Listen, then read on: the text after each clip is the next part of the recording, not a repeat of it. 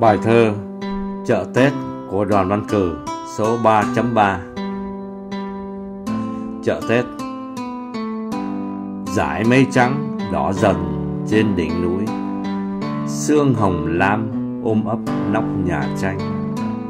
Trên con đường viền trắng mép đồi xanh, Người các cấp tưng bừng ra chợ Tết.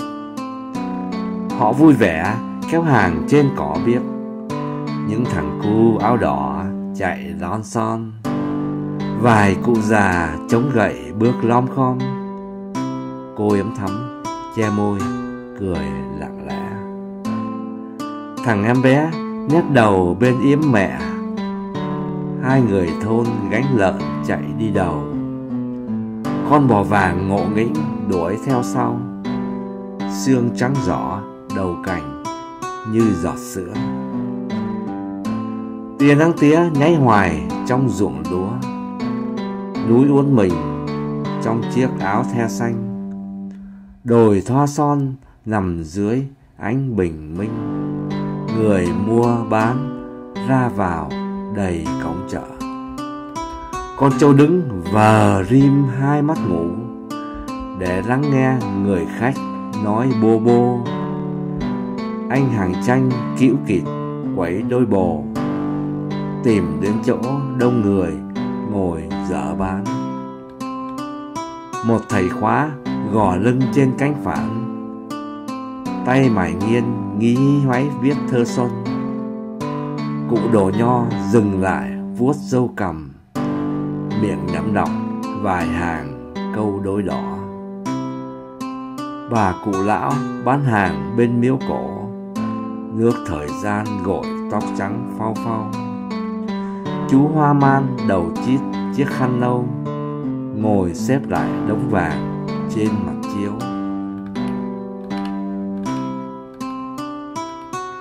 Áo cụ lý bị người chen sấn kéo. Khăn trên đầu đang chít cũng bung ra. Lũ trẻ con mãi ngắm bức tranh gà, quên cả chị bên đường đang đứng gọi mấy cô gái ôm nhau cười rũ rượi. Cạnh anh chàng bán pháo dưới cây đa. Những mẹt cam đỏ chót tựa son pha. Thúng gạo nếp đong đầy như núi tuyết. Con gà trống màu thâm như cục tiết. Một người mua cầm cẳng dốc lên xem. Chợ tưng bừng như thế, đến gần đêm. Khi chuông tối bên chùa văng vẳng đánh trên con đường đi các làng hẻo lánh, những người quê lũ lượt trở ra về.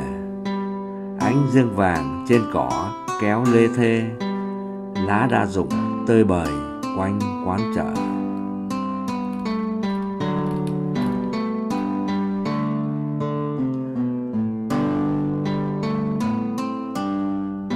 Tết Market by Đoàn Văn Cử, number 3.3 translated into English by Cao Tân Strips of clouds are getting redder on the mountain top. A pinkish layer of dew is embracing the thatched hut tops. On the whitish road that is etching around the bluish hill's edge people from all the hamlets are jubilantly coming to the market of Tết. They joyfully pour their merchandise over bluish green grass carpet, where red-shirt urchins are running with nimble steps in the market, where some old men are walking around with canes, stooping. A girl with a red brassiere is hiding her mouth in her quiet smiling. A little boy is leaning his head on his mother's chest. Two countrymen are carrying a pig on a pole, running at their best. A cute yellow cow is chasing the trio right behind. White dew at the tip of a branch is dripping like milk that is so white. Purple sunrays are flickering incessantly in rice fields down the road. The mountains are curving around in the green silk gauze coat.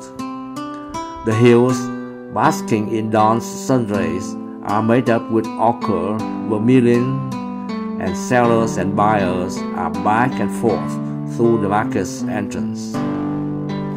The water buffalo is standing, pretending that he is sleeping, so he can listen to all that the talkative customer is talking. The picture vendor is loaded with scales of merchandise on his shoulder, searching for a crowded spot where he can find good customers. A successful student sitting on a blank bed is bending over to grind his black ink stick, writing spring poems for customers. The old teacher pauses to stroke his beard, which looks so well, reckoning under his breath the words of some red pairs of parallel. The old woman vendor is selling her goods next to the ancient shrine, whose hair has been washed by time so it turns so bright white. The votive paper offering maker who wears a brown hat scarf, tidying his paper gold cubes on the sedge mat, those have fallen apart. The old village official's dress is being jostled against and pulled at so hard that even the headscarf wound on his head is falling apart. A group of children are so absorbed in admiring the rooster picture that they totally forget their sister across the road calling them over. Some young girls are embracing each other and shaken with laughter beside the man under the banyan tree who is selling firecrackers. The flat baskets of oranges look as if they are painted with vermilion. Baskets full of sweet rice look like some snowy mountains. The rooster whose cockscomb is as purple as a boiled blood dish is being held upside down by a buyer who is judging about how he fits. The jubilant commotion is continuing incessantly until the night when the faint night bells of the nearby pagoda start to strike. Then on the roads heading towards distant villages far away, flocks of country folks are going back at the end of day. Only the golden sun rays are shining on the grass and lingering, and banyan leaves are falling and broken into pieces around market inns.